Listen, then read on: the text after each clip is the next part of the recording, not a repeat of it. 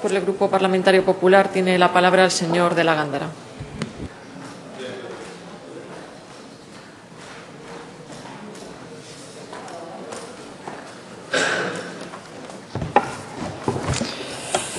Sí, señores y señoras diputados, con la venia de la señora presidenta. Mire, señores sanchistas, no tienen límite, no tienen límite. Es que intoxican todo lo que dicen. Mentiras, fango, imaginación, siempre intoxicando. Son tóxicos. A ver, no se va a hacer ningún macro complejo turístico en Rebamontana al mar. No se va a hacer, y lo saben de sobra. Es decir, no hay ningún proyecto aprobado, ni ningún proyecto presentado, ni ningún proyecto ni anteproyecto. Lo saben de sobra. Entonces, ¿para qué empiezan con toda esta batalla? Que estamos en elecciones y hay que decirlo. De verdad.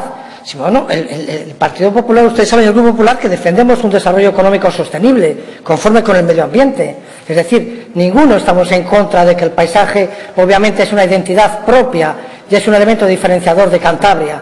Pero lo que dicen ustedes es que estamos incumpliendo la legalidad, que vamos a hacer un macro complejo, pero es que yo creo que están equivocados. ¿En, en, en qué planeta están, señores? Aquí hay una autonomía municipal que hay que respetar, a ver si empiezan a entenderlo. Ya hay un ayuntamiento en la Montana al Mar que tiene un plan de ordenación urbana aprobado y aprobado por la CROTU en el año 2020 y publicado en el año 2021 y aprobado por el PRC y aprobado por el PSOE. Y es lo que se va a cumplir y no da lugar eso, si se lo estudian, a ningún braco complejo turístico. Dejen de enfandar. Por favor, mire, hay una legislación súper severa no solo supranacional a nivel de la Unión, hay, una, hay una, un texto refundido del suelo a nivel nacional, hay una ley de costas de las riberas, del dominio público terrestre, del marítimo terrestre, de las servidumbres de paso, de las servidumbres de protección absoluta, hay la ley de ordenación territorial y urbanística de Cantabria, está el plan de ordenación del litoral que tiene rango de ley, que se aprobó aquí en el 2004 con rango de ley, hay instrumentos urbanísticos, hay el plan de protección de la bahía, en definitiva, hay legislación que se cumple. Aquí no venimos a decir que hay que cumplir la ley, aquí venimos a regular la ley que se cumple, nos guste o no nos guste.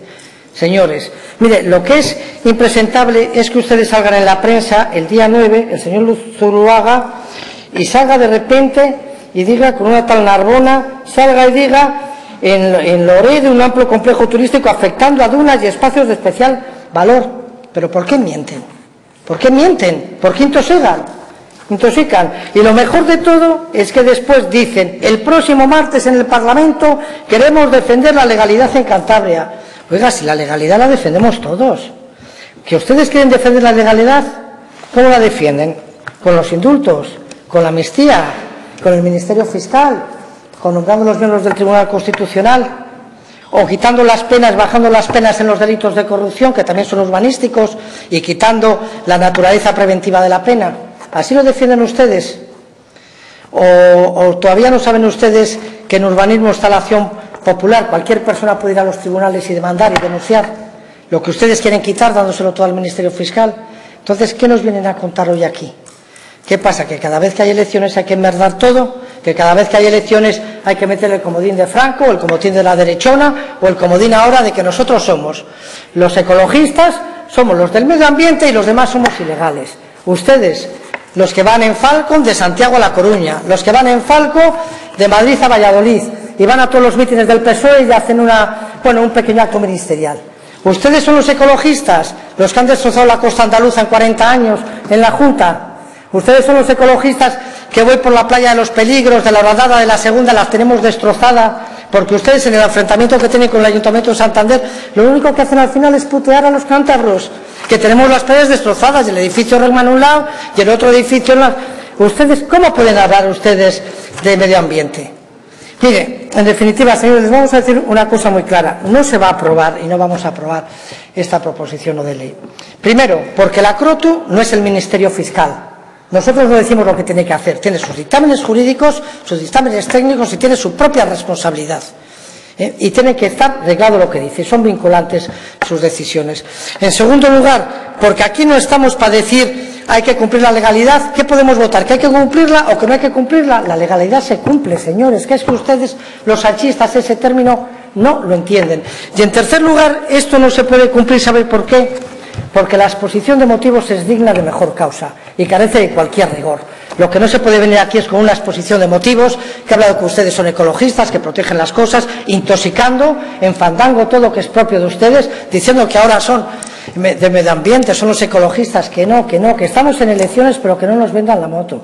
Señores, no podemos aprobar esto porque nosotros somos los que estamos cumpliendo la legalidad y se está cumpliendo y respetando la autonomía municipal. Y se lo digo de nuevo a todos.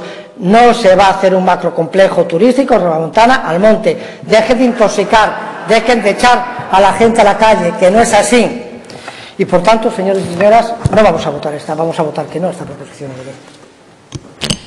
Gracias, señor diputado.